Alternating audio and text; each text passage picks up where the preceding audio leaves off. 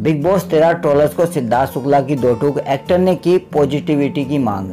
Actor Siddharth Shukla जब big boss house में थे तब भी ट्रोल हो रहे थे। अब शो जीतने के बाद भी उनकी जमकर आलोचना हो रही है। हेटर्स ने सिद्धार्थ शुक्ला की जीत पर सवाल उठाते हुए उन्हें बिग बॉस तेरह का फिक्स विनर घोषित किया है और आसिम रियाज को विजेता बताया। अब एक ट्वीट के ज़रिए सिद्धार्थ ने ट्रोलर्स से किसी को नीचा न दिखाने की अपील की है। सिद्धार्थ ने ट्वीट कर कर हेटर से पॉजिटिविटी बनाए रखने की मांग की एक्टर ने लिखा, समय आ गया, हम एक दूसरे को ऊपर उठाए, ना कि नीचे दिखाने की कोशिश करें। पॉजिटिविटी की तलाश में। आप सभी के समर्थन और प्यार के लिए बहुत आभारी। किसी को नीचा मत दिखाओ। हमेशा मेरा समर्थन करते रहना, क्योंकि आपका प्यार वास्तव में मेरे लिए अनमोल है। Hashtag always be positive hashtag love you all दूसरे ट्वीट में एक्टर्स ने अपने सपोर्टर्स का धन्यवाद करते हुए लिखा hashtag we love Siddharth के साथ सभी सिड हार्ट्स के लिए प्यार।